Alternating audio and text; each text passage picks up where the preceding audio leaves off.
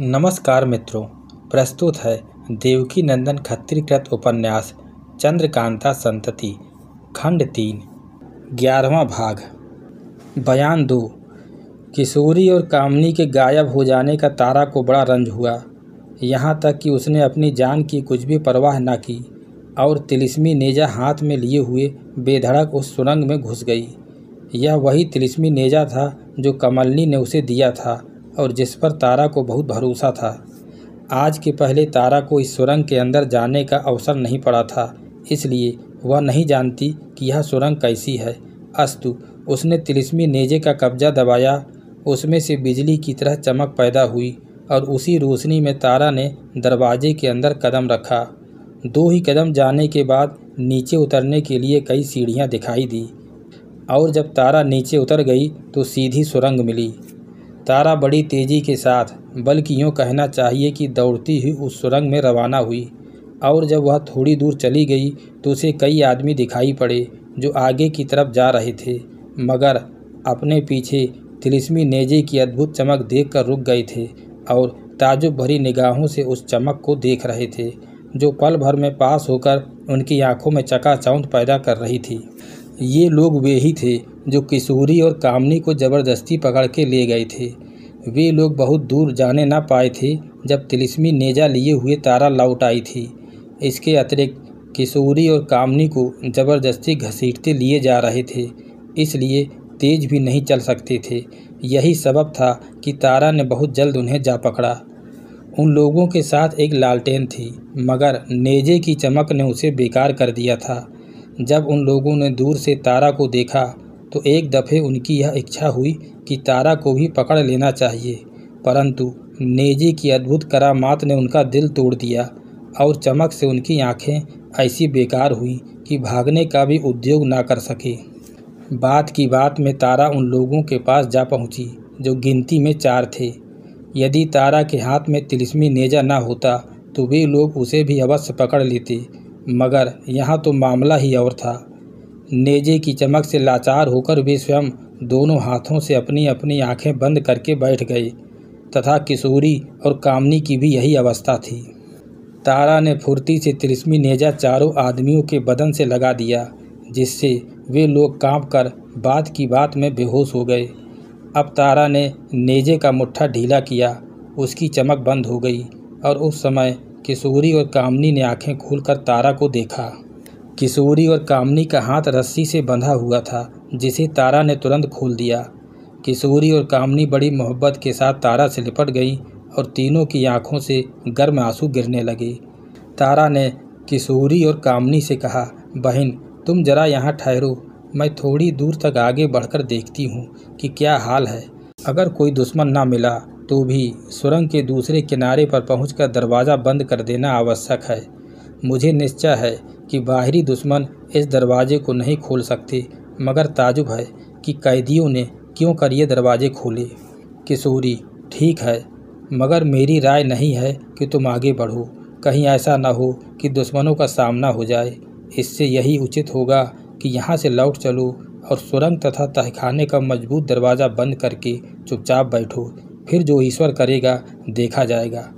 तारा, कुछ सोचकर, बेहतर होगा कि तुम दोनों चली जाओ और सुरंग तथा तहखाने का दरवाज़ा बंद करके चुपचाप बैठो और मुझे इस सुरंग की राह में इसी समय निकल जाने दो, क्योंकि कैदियों का भाग जाना मामूली बात नहीं है।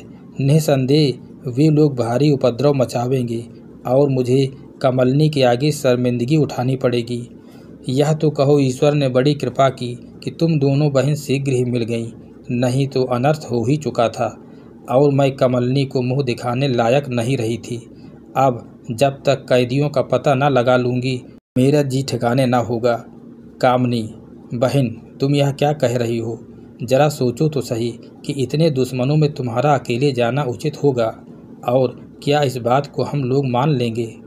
तारा, तिलिस्मी नेजे की तरफ़ इशारा करके, यह एक ऐसी चीज़ मेरे पास है कि मैं हज़ार दुश्मनों के बीच में अकेली जाकर फतह के साथ लौट आ सकती हूँ। यद्यपि तुम दोनों ने इस समय इस नेजे की करामात देख ली, मगर फिर भी मैं कहती हूँ कि इस नेजे का असल हाल तुम्हें मालूम नहीं है, इसी से मुझे रोकती हो। किशोरी, बेशक इस नेजे की करामात मैं देख चुकी हूँ, और यह निसंदेह एक अनूठी चीज़ है। मगर फिर भी मैं तुमको अकेले न जाने दूँगी। अगर जिद करोगी तो हम दोनों भी तुम्हारे साथ चलेंगी। तारा ने बहुत कुछ समझाया और ज़ोर मारा, मगर किशोरी और कामनी ने एक न मानी और तारा को मजबूर होकर उन दोनों की बात माननी पड़ी। अंत में यह निश्चय हुआ कि सुरंग के किनारे पर चलकर उसका दरवाज़ा बंद कर देना चाहिए और इन बदमाशों को भी घसीट कर ले चलना चाहिए और सुरंग के बाहर कर देना चाहिए।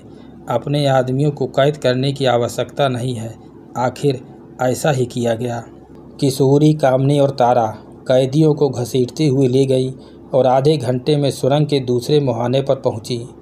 यह मुहाना पहाड़ी के एक खोए से संबंध रखता था और वहाँ लोहे का छोटा सा दरवाज़ा लगा हुआ था जो इस समय खुला था। तारा ने कैदियों को बाहर फेंक कर दरवाज़ा बंद कर दिया और इसके बाद तीनों वहाँ से लौट पड़ी। रास्ते में तारा ने तिलिस्मी नेजे और खंजर का पूरा पूरा हाल, किशोरी और कामनी को समझाया। तहखाने में पहुंचकर सुरंग का दूसरा दरवाज़ा बंद किया गया और फिर ऊपर पहुंचकर तारा ने तहखाने का दरवाज़ा भी बंद करके ताला लगा दिया। इधर तालाब का जल तेज़ी के साथ सूख रहा था, क्योंकि तालाब के ऊपरी हिस्से में लंबाई चौड़ाई ज़्यादा होने के कारण जल भी ज़्यादा अटता है। इसी तरह निचले हिस्से में लंबाई चौड़ाई कम होने के कारण जल कम रहता है। इसीलिए बनस्बत ऊपरी हिस्से के तालाब के निचले हिस्से का जल क्रमशः तेज़ी के साथ कम होता गया। यहाँ तक कि जब तारा सुरंग और तहखाने से निकलकर मकान की छत पर पहुँची तो उसने तालाब को सूखा हुआ पाया। मकान के चारों तरफ़ घूमने वाले लोहे के चक्र तेज़ी के साथ घूम रहे थे। और दुश्मन लोग यह सोचकर कि उन चक्रों की बदौलत मकान तक पहुँचना बहुत कठिन है, बल्कि असंभव है। उन चक्रों को ताजुब के साथ देख और उनको रोकने की तरकीब सोच रहे थे।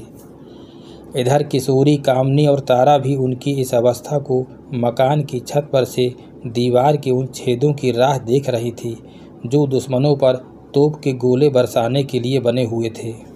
इस समय रात दो घंटे से ज़्यादा जा चुकी थी, मगर पहर ही भर तक दर्शन देकर अस्त हो जाने वाले चंद्रमा की रोशनी दुश्मनों की किसी कार्रवाई को अंधेरे के पर्दे में छिपी रहने नहीं देती थी। दुश्मनों ने जब देखा कि चक्रों के सबब से मकान तक पहुँचना असंभव है तो उन्होंने उद्योग का एक मज़ेदार ढंग निकाला, जिसे देख तारा किशोरी और कामनी के दिल में खौफ पैदा हुआ। अर्थात दुश्मनों ने तालाब को मिट्टी से पाटना शुरू किया। बेशक यह तरकीब बहुत ही अच्छी थी, क्योंकि तालाब पड़ जाने पर उन चक्करों का घूमना न घूमना बराबर था। और आश्चर्य नहीं कि मिट्टी के अंदर दब जाने के कारण वे रुक भी जाते। मगर इस काम के लिए दुश्मनों को मामूली से बहुत ज़्यादा समय नष्ट करना पड़ा, क्योंकि उन लोगों के पास ज़मीन खोदने के लिए फावड़ा या कुदाली की किस्म का कोई औज़ार ना था। खंजर, तलवार और नेजों ही से वे लोग जो कुछ कर सकते थे, करने लगे। दुश्मनों के इस उद्योग को देखकर तारा का कलेजा दहल गया और उसने अफसोस के साथ किशोरी की तरफ़ देख के कहा, तारा, अहो, अब इस उद्योग का क्या जवाब दिया जाए? किशोरी, यद्यपि वे लोग एक दिन में तालाब नहीं पाट सकते, मगर हम लोगों के बचाव के लिए अब कोई तरकीब सोचनी चाहिए, क्योंकि तालाब पड़ जाने पर ये चारों चक्र ज़मीन के अंदर हो जाएँगी और उस समय इस मकान में दुश्मनों का घुस आना कुछ कठिन ना होगा। कामनी, उस सुरंग की राह भाग जाने के सिवाय हम लोग और कुछ भी नहीं कर सकेंगे। तारा, क्या दुश्मन लोग सुरंग के उस मुहाने को सूना छोड़ देंगे, जिसका पूरा पूरा हाल उन लोगों को मालूम हो चुका है? कामनी, इसकी आशा भी नहीं हो सकती।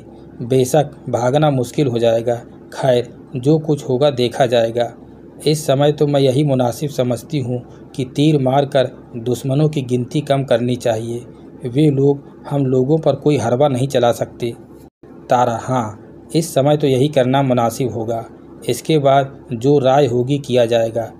मगर बहन, मैं फिर भी कहती हूँ कि तुम मुझे तिलिस्मी नेजा हाथ में लेकर सुरंग की राह से निकल जाने दो। फिर देखो तो सही कि मैं अकेली इतनी दुश्मनों को क्यों कर बात की बात में मार गिराती हूँ। तुम्हें इस नेजे का हाल पूरा पूरा मालूम हो ही चुका है। अतएव उस पर भरोसा करके तुम्हें उचित है कि मुझे ना रोको। मैं नहीं चाहती कि यह तालाब पड़ जाए और फिर सफ़ाई कराने के लिए तकलीफ़ उठानी पड़े। कामनी, तुम्हारा कहना ठीक है। इस नेजे की जहाँ तक तारीफ़ की जाए कम है और तुम उन सभी को जहन्नुम में पहुँचा सकोगी जो दुश्मनी की नीयत से तुम्हारे पास आएँगे। मगर उनका तुम क्या बिगाड़ सकोगी, जो दूर ही से तुम्हें तीर का निशाना बनावेंगे? तारा, कुछ सोचकर, बेशक, यह एक ऐसी बात तुमने कही, जिस पर विचार करना चाहिए। अच्छा खूब याद आया। इस मकान में फौलाद का एक ऐसा कवच है, जो बदन पर ठीक आ सकता है। मैं उसे पहन कर जाऊँगी और तीर की चोट से बेफिक्र रहूँगी। यद्यपि इस पर भी तुम कह सकती हो कि आँख, नाक, कान, मुँह इत्यादि किस किस जगह की तुम हिफाजत कर सकती हो। मगर इसके साथ ही यह बात भी सोचना चाहिए कि अगर तालाब पाट कर दुश्मन यहाँ घुस आवेंगे और हम लोगों को पकड़ लेंगे तो क्या होगा? अपनी बेइज्जती कराना और बेहरमती के साथ जान देकर अच्छा होगा। या बहादुरी के साथ सौ पचास को मारकर लड़ाई के मैदान में मिट जाना उचित होगा?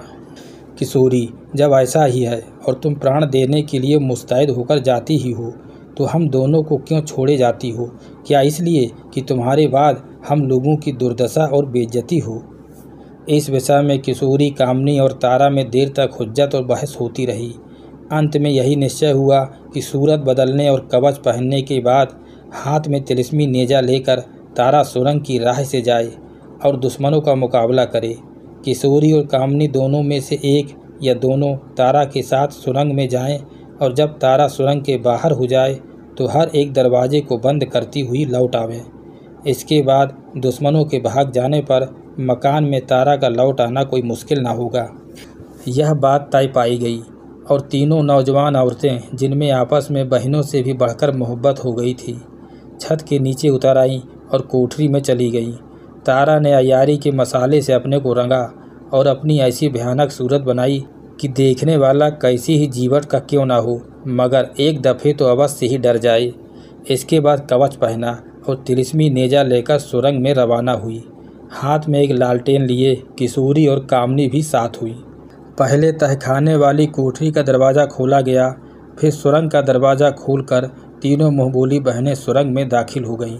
ये तीनों बीस पच्चीस कदम से ज़्यादा न गई होंगी कि पीछे की तरफ़ से एकाएक दरवाज़ा बंद कर लेने की आवाज़ आई, जिसे सुनते ही तीनों चौंक पड़ी और खड़ी हो गई।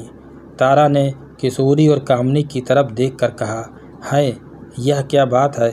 मालूम होता है कि हमारा दुश्मन हमारे घर ही में है। यह कहती हुई किशोरी और कामनी के साथ तारा पीछे की तरफ़ लौटी और जब सुरंग के दरवाजे के पास आई तो दरवाज़ा बंद पाया, खटखटाया, धक्का दिया, ज़ोर किया, मगर दरवाज़ा ना खुला। इस समय इन तीनों अवलाओं के दिल की क्या हालत हुई होगी, सो हमारे बुद्धिमान पाठक स्वयं सोच सकते हैं। कामनी ने घबरा कर तारा से कहा, तुम्हारा कहना ठीक है, बेशक हमारा दुश्मन हमारे घर ही में है। किशोरी, चाहे कोई हमारा नौकर हमारा दुश्मन हो, या दुश्मन का कोई अयार हमारे नौकर की सूरत में यहाँ आकर टिका हो। तारा अब शक दूर हो गया और निश्चय हो गया कि कैदियों को इसी कम ने निकाल दिया। मैं ताजुब में थी कि यह दरवाज़ा जो दूसरी तरफ़ से किसी तरह नहीं खुल सकता, क्यों कर खुला और कैदी लोग क्यों कर निकल गए। मगर अब जो कुछ असल बात थी, ज़ाहिर हो गई। अब उस शैतान ने, चाहे वह कोई भी हो, इसलिए यह दरवाज़ा बंद कर दिया कि हम लोग पुनः लौटकर घर में न आ पावें। अफसोस, बड़ा ही धोखा हुआ। कि इतने पर भी हम लोग उससे बेफिक्र रहे और इस समय भी वह छिपकर हम लोगों के साथ ही साथ कैद खाने में उतरा, मगर कुछ मालूम न हुआ। कुछ रुक कर, हमारे नौकरों और लौंडियों को क्या मालूम हो सकता है कि इस समय हम लोगों के साथ किस दुष्ट ने कैसा बर्ताव किया? कामनी, क्या इस तरफ़ इस दरवाजे को खोलने की कोई तरकीब नहीं है? तारा, कोई नहीं। कामनी, और अगर दुश्मनों ने सुरंग के मुहाने का दरवाज़ा बाहर से बंद कर दिया हो तो क्या होगा? तारा, उस दरवाजे की दूसरी तरफ़ ऐसी चीज़ नहीं है जो दरवाज़ा बंद करने के काम में आवे। मगर फिर भी दुश्मन होशियार हो तो हर तरह से वह मुहाना बंद कर सकता है। उस दरवाजे के ऊपर मिट्टी, पत्थर या चूने का ढेर लगा सकता है। ईंट पत्थर की जुड़ाई कर सकता है या उस खोह को भर के ईंट पत्थर से बंद कर सकता है। किशोरी, हाय, अब हम लोग बेमौत मारे गए। ताजुब नहीं कि इस बात का बंदोबस्त पहले ही से कर लिया गया हो। कामनी, बस, अब हम लोगों को यहाँ जरा भी ना अटक कर सुरंग के बाहर निकल चलना चाहिए। शायद उधर का रास्ता अभी बंद ना हुआ हो। तारा, किशोरी और कामनी तेज़ी के साथ सुरंग के दूसरे मुहाने की तरफ़ रवाना हुई और थोड़ी ही देर में वहाँ जा पहुँची। इस सुरंग में मकान की तरफ़ जिस तरह की सीढ़ियाँ बनी हुई थी, उसी तरह की सीढ़ियाँ सुरंग के दूसरी तरफ़ भी थी। जब तारा ने दरवाजे की कुंडी खोली और उसे धक्का देकर खोलना चाहा तो दरवाज़ा ना खुला। उस समय तारा हाय करके बैठ गई और बोली, बहन, बस, जो कुछ हम लोगों को शक था वही हुआ। इस समय दुश्मनों की बन पड़ी और हम लोग बेमौत मारे गए। यह दरवाज़ा भीतर की तरफ़ हटता होता तो खुल जाता और हमें मालूम हो जाता कि आगे रास्ता किस चीज़ से बंद किया गया है। ईंट पत्थर और चूने से या खाली मिट्टी से। और हम लोग इस तिलस्मी नेजे से उसमें रास्ता बनाकर निकल जाने का उद्योग करते, क्योंकि यह नेजा हर एक चीज़ में घुस जाने की ताकत रखता है। मगर अफसोस तो यह है कि यह लोहे का मज़बूत दरवाज़ा खुलने के समय बाहर की तरफ़ खुलता है। यह भी कारीगर की भूल है। भूलों का मज़ा समय पड़ने पर ही मालूम होता है। अब मुझे मालूम हुआ कि मकान बनाने वाले को दरवाजे की अवस्था पर विशेष ध्यान देना चाहिए। कोई दरवाज़ा ऐसा न बनाना चाहिए जो खुलते समय बाहर की तरफ़ खुलता हो, जिसे बाहर वाला मामूली तौर पर मिट्टी का ढेर लगाकर भी बंद कर सकता है। हाय, अब मैं क्या करूँ? मुझे अपने मरने का तो कोई भी रंज नहीं है। अगर रंज है तो केवल इतना ही कि तुम दोनों को कमलनी ने हिफाजत में रखने के लिए मेरे पास भेजा, और मेरी बदौलत तुम्हें यह दिन देखना नसीब हुआ। मामूली तौर पर जैसा कि अक्सर मौका पड़ने पर लोग कह दिया करते हैं। इस समय किशोरी और कामनी यह बात तारा को कह सकती थी कि, बहन, हम लोग तो तुम्हें मना करते थे कि सुरंग की राह से बाहर मत जाओ, मगर तुमने ना माना। अगर मान जाती तो यह दुख भोगना क्यों नसीब होता? मगर नहीं, बेचारी किशोरी और कामनी बड़ी ही नेक दिल थी। वे जानती थी कि जो होना था सो तो हो चुका। अब ऐसी बात कहकर तारा का दिल दुखाना नादानी है, और इससे कोई फ़ायदा नहीं। तारा ने जो कुछ किया, उसे भला ही समझ के किया। मगर जब ईश्वर की भी ऐसी मर्ज़ी हो तो क्या किया जाए? इस सुरंग के दोनों तरफ़ की दीवार बहुत ही मज़बूत थी, और उस पर फौलादी मोटी चादर चढ़ी हुई थी। यद्यपि तिलिस्मी नेजा उस फौलादी मोटी चादर में भी घुस सकता था, मगर इसमें कोई फ़ायदा ना था। तिलिस्मी नेजा ऐसे स्थान से सुरंग खोद कर रास्ता बनाने का काम नहीं दे सकता था। इस पर भी तारा ने उद्योग में कोई बात उठा न रखी, मगर नतीजा कुछ भी ना निकला।